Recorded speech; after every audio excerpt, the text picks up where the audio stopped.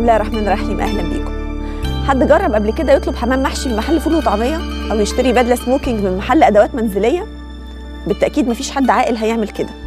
إنما في ناس كتير يبانوا من بره إن هم عاقلين جدا بس تلاقيهم بيطلبوا طلبات من ناس لا يملكوا تحقيق الطلبات دي لأن هي ببساطه شديدة مش في إيد بشر وإنما هي بأمر ربنا سبحانه وتعالى. وياما وقعنا كلنا في مشاكل وياما اتحوج ناس كتير واتظلموا واتعذروا في فلوس وتلاقيهم ينسوا في عز المشكلة والمحنة والاحتياج والعوز. من يمكن أن يبسط يده بالعون والانفراجة ويروح البشر أضعف منهم ظنا منهم إنهم هيبقوا السبب في خروجهم من أزمتهم. ويقفوا على بابهم بالأيام والليالي واحيانا يتوسلوا ويحطوا أملهم فيهم ويتعلقوا بالحبال الدايبة. وفي الأول وفي الآخر كله بأمر الله. مش ساعات نشوف ناس يعملوا اللي عشان يحصلوا على شغلانة معينة أو يخلصوا صفقة ما أو يجوزوا فلان لفلانة والموضوع يبقى خلاص معمول كما يقول الكتاب جايبين آخرهم يعني في التحليق على الشيء اللي هم عاوزينه مكلمين طوب الأرض وجايبين وصايب وصاية الدنيا والآخرة ويطلع واحد من إياهم دول اللي الثقة بتبقى بتنط من مشيته وعينه وبقه يقول لك إيه خلاص اعتبر الموضوع ده منتهي اعتبره اشتغل اعتبره اتعين اعتبره سافر وبعدين لا يتعين ولا حد يبص في خلقته أساسا والبيء الواثق من قدراته ده تلاقيه فص ملح وداب. هو أساسا لا يملك إنه يمشي نفسه خطوتين قدام كله بأمر الله. في ناس بقى من كتر ما الدنيا عمياها بتنسى في خضم جبروتها إن ربنا سبحانه وتعالى ممكن يهد جبروتهم ده على أهون سبب وإنهم لا يملكوا من أمر نفسهم أي شيء. ضحكت لما سمعت موقف كده سمعت شهادة من دكتور مصطفى الفقي. كان بيحكي إنه كلم أحمد عز بعد 25 يناير على طول وسأله بقلق جدا ها هتعملوا إيه؟ فرد أحمد عز بمنتهى الثقة. واثق جدا في قدراتهم الفائقة وقال له ما تقلقش حبيب بيه هيخلص كل ده في 48 ساعة كله هيخلص. ضحكت طبعا.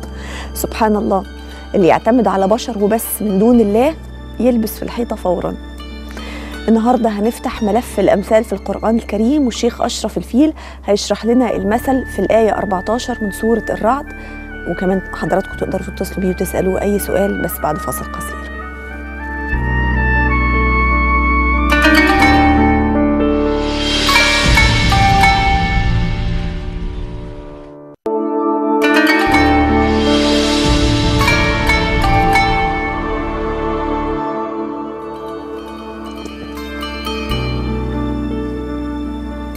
أهلا بكم مشاهدينا مرة تانية وبنفتح ملف الأمثال في القرآن الكريم ووصلنا للآية رقم 14 من سورة الرعد. فضيلة الشيخ أشرف الفيل أهلا بحضرتك معانا. يعني دايما بتوصل لنا الآية الحقيقة بتبقى فيها بلاغة جميلة وحضرتك بتشرحها بشكل مبسط وجميل بحيث كلنا نقدر نفهمها. قال تعالى له دعوة الحق والذين يدعون من دونه لا يستجيبون له بشيء إلا كباسط كفيه إلى الماء ليبلغ فاه وما هو ببالغه وما دعاء الكافرين إلا في ضلال. حضرتك تشرح لنا بس معنى الآية كده وبعد كده نشرح الصورة البلاغية اللي فيها. الحمد لله والصلاة والسلام على سيدنا رسول الله صلى الله عليه وعلى آله وأصحابه وسلم أجمعين وبعد. هو الآية الله سبحانه وتعالى يضرب فيها المثل ما بين الذي يدعو إلى الحق والذي يدعو إلى الباطل. أو بين الذي يدعو الله سبحانه وتعالى بنوع آخر يعني أو بتفسير آخر وبين الذي يدعو غير الله سبحانه وتعالى. لكن الأغلب أن المراد بها دعوة الحق ودعوة الباطل. الذي يدعو إلى الحق والذي يدعو إلى الباطل. فالذي يدعو إلى الحق هو مع الله سبحانه وتعالى والله سبحانه وتعالى هو الحق ويحب الحق والحق أحق أن يتبع كما جاء في كلام الله سبحانه وتعالى. فله دعوة الحق أي لله عز وجل دعوة الحق أي الدعوة الحق الثابتة التي لا تتغير ولا تتبدل ولها قوانين ثابتة. والذين يدعون من دونه لا يقضون بشيء لا يستجيبون لهم بشيء. يعني لو أنا دعيت حد غير ربنا سبحانه وتعالى لا يمكن أن هو هيستجيب لي بحاجة أبدا. طيب بيضرب المثل الذي يدعو الله سبحانه وتعالى الله يستجيب له والذي يدعو غير الله عز وجل هو مثله. مثل رجل بسط يده إلى الماء وأراد من الماء أن تصل إلى فمه فهل يحدث هذا؟ لا. لا يمكن أن يحدث هذا آه. فإلا كباسط كفيه. كباسط كفيه إلى الماء ليبلغ فاه يعني فلو المفروض إن إحنا بنشرب بنقوم عاملين إيدينا كده ونرفعها. يعني تبقى آه. عاملة زي الطبق كده آه. فالمية إنما كب... يعني مثل بسيط جدا بس بليغ يعني أنت آه. بحط إيدك كده في المية لا يمكن تحطها كده مستقيمة كده مبسوطة لا يمكن هتشيل مية. تمام.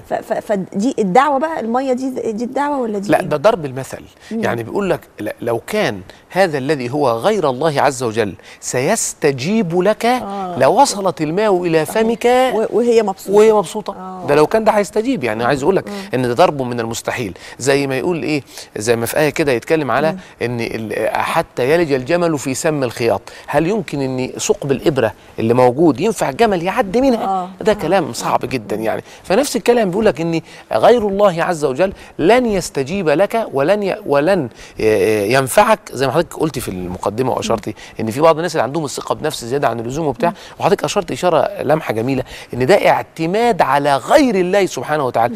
مهما كان اعتماد على الجاه أو على السلطان أو على القوة أو على القدرة أو على الأتباع أو أي حاجة كل الأعداد دي كلها ما بتعملش حاجة. زي ما حضرتك قلتي بالظبط إن الاعتماد على الله سبحانه وتعالى يختلف تماما عن الاعتماد على غير الله. أهو ده نفس القصة. أهو دول عاملين زي اللي كباسط كفيه إلى الماء ليبلغ فاه قاعد كده ومستني المية لما تطلع من تحت كده من عند ايده تفضل ماشية لغاية لما توصل لبقه. وده طبعا عمره ما هيحصل. أما الذي يعتمد على الله سبحانه وتعالى ويدعو الله سبحانه وتعالى وهو كثير الدعوة إلى الله سبحانه وتعالى والدعاء إلى الله سبحانه وتعالى هذا هو دعوة الحق الذي سيستجيب الله عز وجل له. هذا هو معنى الآية يعني بمعنى موجز يعني. طيب وفكرة وما دعاء الكافرين إلا في ضلال. دعائهم لا يعني بيدعوا للناس التانية يعني ولا إيه المقصود بكلمة دعاء عندي آه أنا عندي الدعاء أحيانا يرد في القرآن الكريم ويراد به الدعوة أو الدعاء في الدنيا وأحيانا يرد والمراد به الدعاء في الآخرة. تمام. فهنا الدعاء المراد بها هنا الدعاء في الدنيا. فعايز يقول وما دعاء الكافرين إلا في ضلال يعني معناها إن الدعاء بتاعه بيروح في اتجاه تاني زي واحد طلب رقم غلط. يعني واحد عنده كارثة وعايز يكلم فلان بسرعة وراح ضرب الرقم مثلا ده آخره زيرو راح عمل واحد بدل الزيرو. فراح فراح فين؟ في اتجاه تاني فراح مكلم شخص تاني. طب أنا لو سمحت حلني أنا في مشكلة كذا كذا. وقعد يحكي له مشكلة من غير ما يتعرف عليه. وما دعاء الكافرين إلا في ضلال. الكلام راح في اتجاه تاني خالص. صحيح. أستاذ إبراهيم؟ الخط قطع. طيب حاول كلمنا مرة تانية. طيب آه، آه، في الآية برضو آه، له دعوة الحق. في يعني في في تفسير آخر بيقول إن دعوة الحق ده هو التوحيد. نعم. توحيد آه، نعم. ربنا هو هو في. تفسيرين. في تفسير المراد بالدعوة الدعاء والمراد بالدعوة العقيدة. فقد يكون الاعتقاد هو الاعتقاد بالله سبحانه وتعالى. فإذا كان الإنسان اعتقاده بالله اعتقادا جازما بتوحيد الله سبحانه وتعالى لأن التوحيد دي مسألة كبيرة قوي. التوحيد من أجله أرسل الله سبحانه وتعالى الرسل. من أجله خلق الله الخلق. كل رسول كان يأتي إلى قومه كان كل الكلام اللي هو بيقوله إيه؟ اعبدوا الله ما لكم من إله غيره. اعبدوا الله ما لكم من غيره كل الرسل كل الأنبياء كانوا على هذه الكيفية. إذا مسألة التوحيد مسألة كبيرة جدا وعظيمة جدا. إذا فالحق يكون في التوحيد والباطل يكون في الشرك. فلما يقول له دعوة الحق أي دعوة التوحيد. والذين يدعون من دونه أي ال- اللي هم المشركين.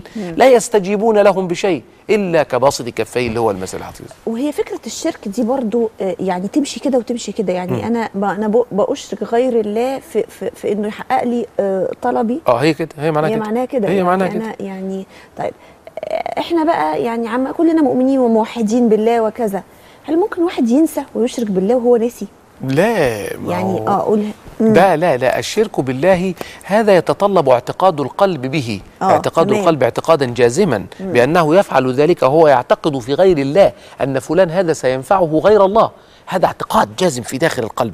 هي دي المسألة. إنما لو واحد بيعمل حاجة مثلا زي زي ال ال ال ال الشرك اللفظي يعني مثلا من- كان حليفا فليحلف بالله أو ليصمت من حلف بغير الله فقد أشرك. فجي واحد قال والنبي ولادي. مش عارف ولادي وحياة ما أعرفش مين. هل هو عقد النية على إن ولاده أفضل. عنده من الله؟ لا لم يعقد النية على هذا. فهذا يسمى شرك دول ياخد لفظي عليهم آه، يعني ما ياخدش ثواب يعني ياخد يعني وزر يعني؟ وزر آه. على إن هو حلف يعني؟ ولادي والنبي يعني وكده. هذا إثم بس هذا الإثم يسمى أصل عندي حاجة أولى لا. وعندي حاجة خلاف الأولى. آه. فده حاجة اسمها خلاف أيوة، الأولى. يعني الأولى إن أنا أدعو يعني يعني أحلف بالله وأستعين بالله سبحانه وتعالى.